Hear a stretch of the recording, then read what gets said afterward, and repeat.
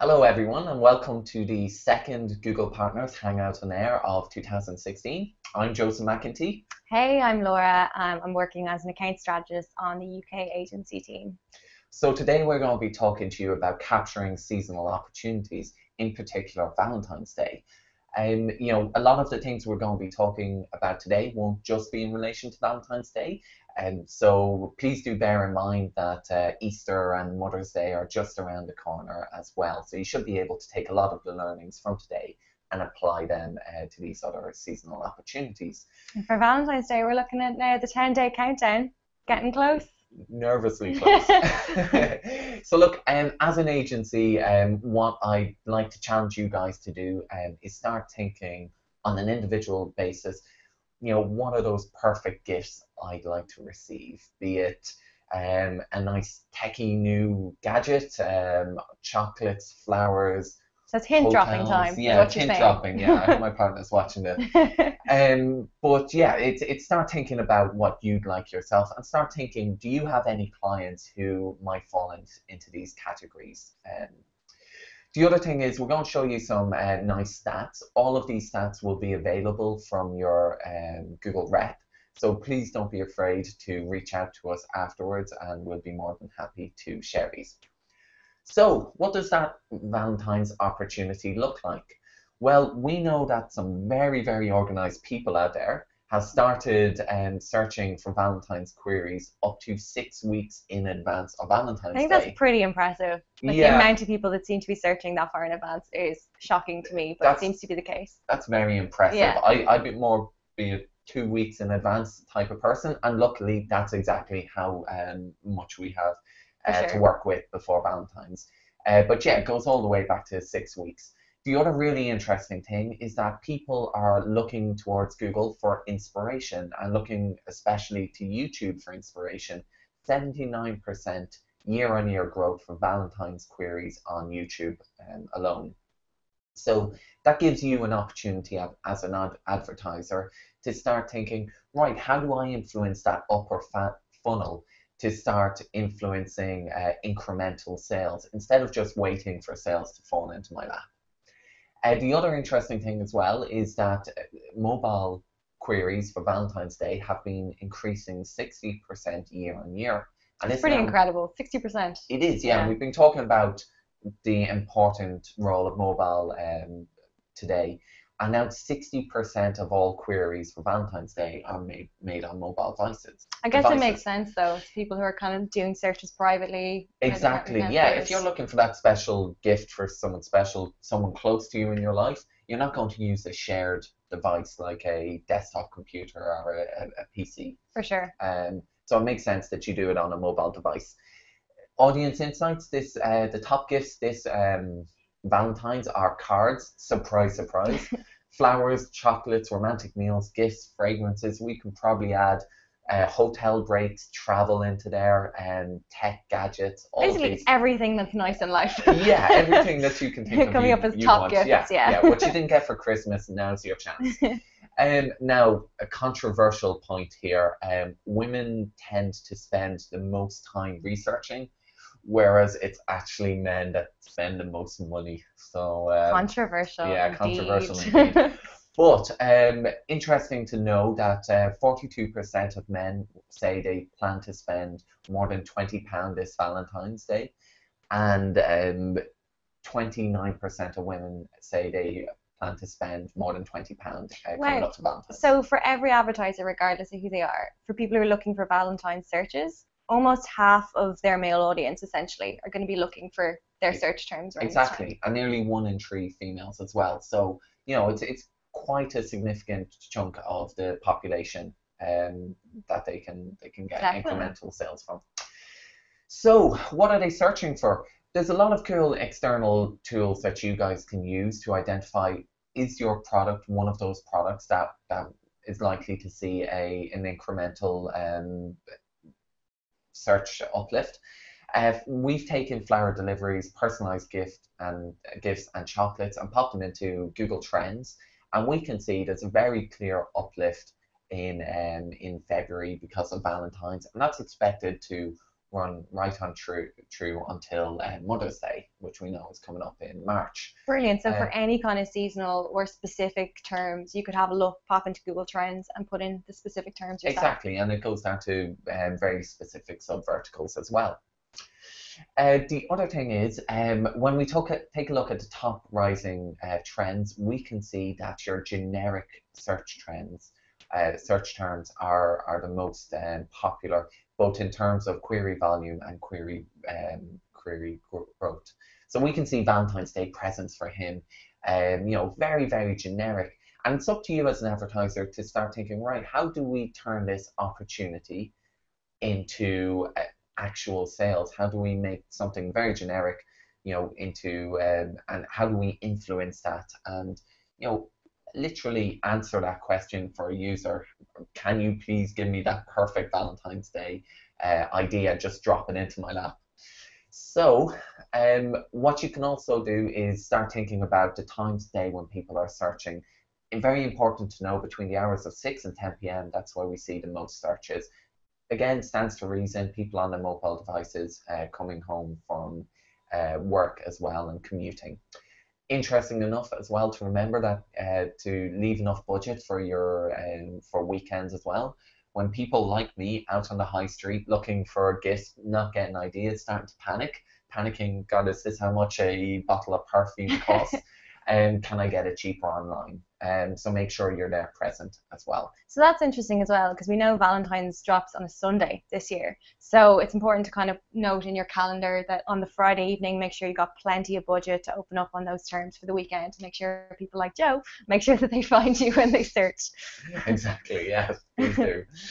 um, so you can also use analytics to identify in the past what type of um, search, um, what type of trends you can expect to see based on past data. Now we've taken the uh, Google Store in this case, um, and we can see we can break down as far as acquisition and channels to see okay what are the top referring terms um, in maybe for direct, maybe for paid search, uh, organic referral, whatever that may be, and start to see how well do they convert and should we bid on them as well. So with that, I'm going to pass it over to Laura now. Great. So essentially what we're saying is that we're, there seems to be a huge growth in those generic searches and that you have so much wealth of information there in analytics. Analytics is a gold mine in terms of actually looking at when your own peaks are coming in and when to then adjust your keywords and your targeting. So if we're seeing those generics kind of really come into play this year as the main source of volume and as well as that seeing a lot of people going and searching for inspiration and searching on their mobile it's can be a little bit tricky for new advertisers to figure out exactly how to find their audience. So essentially, there's two really simple, really quick ways that you can then find your exact audience, and those are customer match and RLSA lists. So customer match, firstly, we've got another Elevenses series on that. So just pop into the library if you're new to customer match and you want to get a play-by-play -play of exactly how that works and how to implement it. But essentially what customer match is, is using your customer email lists from the CRM and just applying those to campaigns so that you're ensuring that you're actually targeting your own customers regardless of where they signed up. So they could be online, offline, mobile, and so on. And you know that you can target specifically the people who maybe purchased from you this time last year, signed up for a loyalty program. It's incredible. So then secondly, we can look at remarketing lists for search ads. So or RLSA. Again, there's another Elevenses on this, so you can look back on that on using RLSA lists with your shopping. So pop back on that if you want to play by play. But essentially what we're doing here is gathering information of people who visited your website and assorting them into different kinds of lists depending on how likely they are to buy. So for example, if Joe bought uh, some jewelry for his girlfriend at Christmas and he knows that he really appreciates your brand and he got great customer service, he got great delivery time, and he goes back and searches for Valentine searches, you want to make sure that you show for him because he's more likely to buy another gift from you knowing he was really happy with you the first time. Sound about right? Yeah. cool. Sorry, I keep using you as an example here. um, so to look at exactly what we're talking about here, it's you knowing what your customers are doing and knowing who your customers are, and then driving your message to tailor it to those customers. So I think the beauty of customer match in particular is that you can target people regardless of device. So as we're seeing a lot of people kind of doing the commuter search on the way home or having a bit of cheeky search at home where you know your other half can't see it, that's where the mobile will come into play. And for customer match, it doesn't matter how they actually came to, to you know, put their email into your business, whether it's a loyalty program online or offline, you can still directly target them regardless of device. You can target them on YouTube, which we can see that incredible spike in YouTube activity year on year, and also in Gmail. So if you think of the most private way to target someone is through their Gmail. So think about offering loyalty offers, for example, so say 50% Valentine's discount or that lovely spa breakaway, and you can deliver that directly into one of your customers' Gmail accounts. So if I'm a hotel um, looking to do maybe a direct mail or an email blast mm-hmm. um, to to some clients, uh, some customers that stayed in my hotel months ago, would this be a good approach to use then uh, going down the Gmail route? Yeah, absolutely. I mean, if you think about it, they gave you their email. You know that they respond to email, and you can use Gmail there directly to show them that, and it's a full page takeover. So it's a perfect example of how to use it. Perfect. Um, and in terms of then how you can actually use that to target, you've got three options. So you can target customers that you know, which is what we've kind of spoken a lot about up to now, or you can exclude those customers if you just purely want to get full reach. I think for seasonal opportunities, the exclusion is probably less relevant, but that's somewhere you can move towards in the future.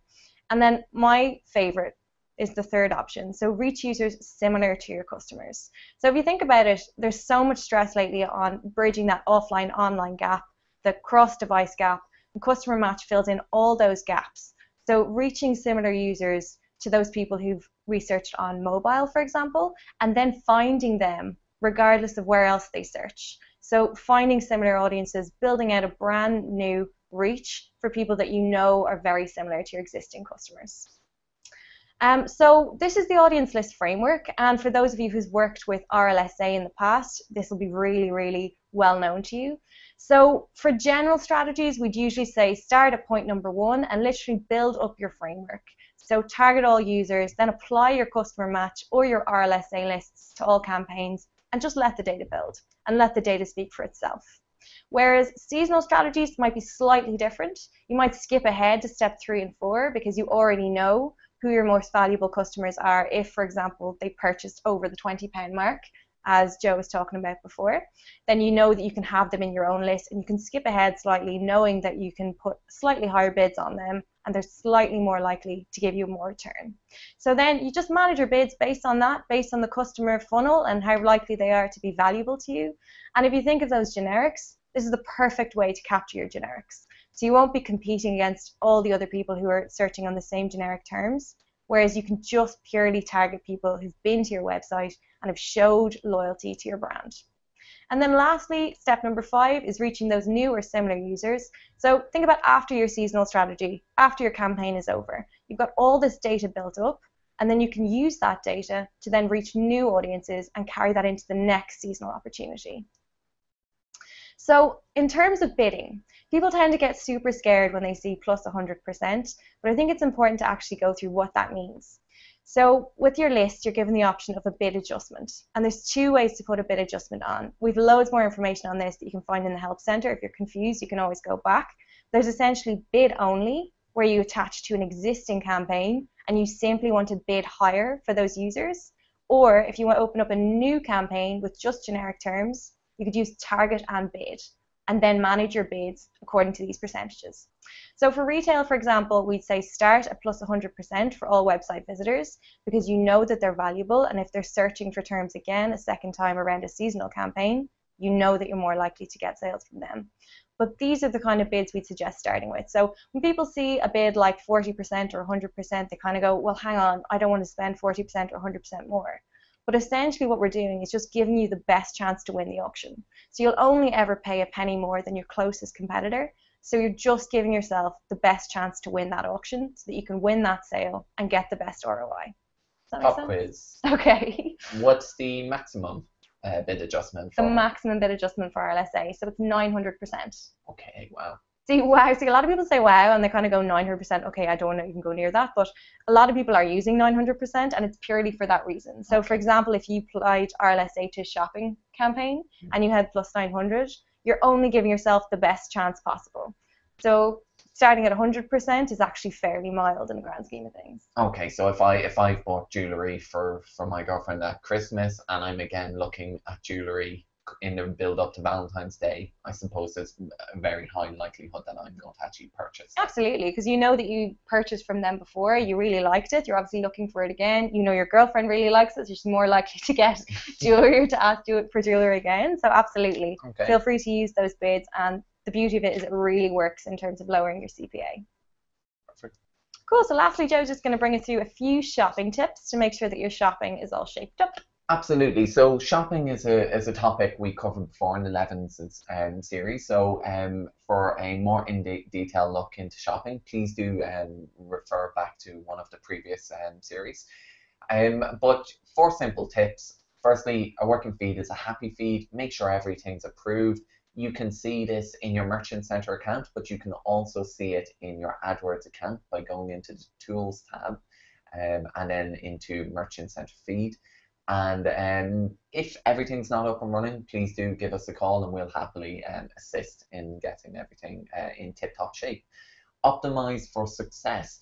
Um, when I go into an account and I see all products in one campaign, um, with one ad group, with one bid, regardless of the product, that makes me really sad because there's a huge amount of opportunity. So I'd always encourage you to organize your merchant center feed in a way that um, you've got maybe labels applied for the top, uh, the hot products for a certain time of the year. Um, and then your campaign should actually represent that as well. So maybe you won't want to bid the same amount for a pair of socks as you would for a full suit, for example. So maybe you could even have different priority settings? Different priority settings, yeah. if you're using multiple campaigns. Again, this is something where your, your Google rep is more than happy to uh, talk you through as well. Be present on mobile. We know mobile works very well. We know people are searching on mobile. Uh, shopping is a, is a mobile um, first uh, format um, with a huge mobile format and we see some great returns on, on it. So make sure you're there, make sure your bid adjustment is high enough that you will actually stand a chance with the restricted number of um, ads that are available to show on mobile. And lastly, consider your audience. Uh, Laura has already talked about RLSA and customer match. They are that, that they are applicable for shopping as well. And for RLSA, that's no longer in whitelisting, and the same with customer match. And so, yeah, feel free to use that. So that's it from us today. As I mentioned already, everything we mentioned um, in terms of insights are available in a nice uh, one sheet uh, PDF. So please do reach out to us. Uh, we also have keyword packs with the uh, top generic queries and, and um, yeah, hopefully you'll be a very successful Valentine's Day. Absolutely. Lovely chatting to you and happy Valentine's. See you later. Bye. Bye.